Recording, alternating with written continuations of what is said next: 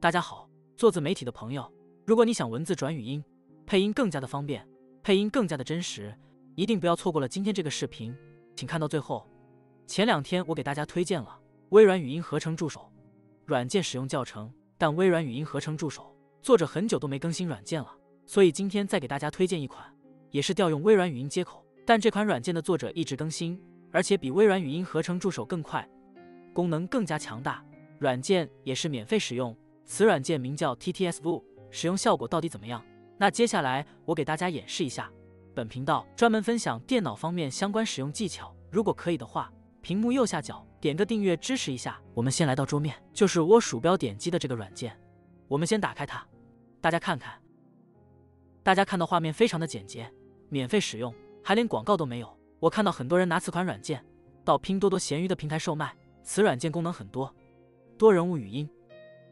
说话风格、角色扮演、语速、音调都可以调节。那接下来我给大家测试一下效果怎么样？我先找一段演示文案，粘贴进来。首先我们在语言这里可以看到很多国家的语言。那我选择中文普通话简体语音，选择小陈试试。点击开始转换。大家好，我的名字叫 Triple X，我今年十三岁，我是一名八年级的学生。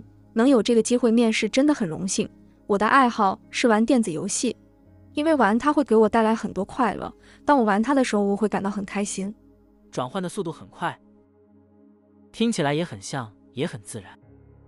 再选择一个声音试试。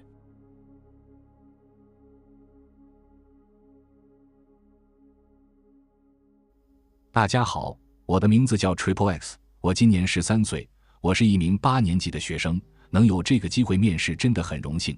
我的爱好是玩电子游戏，因为玩它会给我带来很多快乐。当我玩它的时候，我会感到很开心。真不错，软件还支持批量文本转语音。我给大家测试一下，点击选择，导入这两个 text 文本。打开，把画面最大化，看得清楚点。右边也是可以选择这些人物说话风格等等属性。点击开始转换，很快已经转换成功。它自动保存在桌面。打开文件试听一下。我是一名八年级的学生，能有这个机会面试，真的很荣幸。打开第二个文件试听。大家好，今天我要向大家介绍我自己。我的名字叫陈某某，今年十岁了。没问题，大家觉得效果怎么样？这个功能真的很方便，还有其他方面的功能，大家自己测试吧。下载地址我会放在视频下方简介页面里。大家在使用过程中有什么不明白的地方，或者电脑方面有不懂的地方，评论区留言给我，点个关注。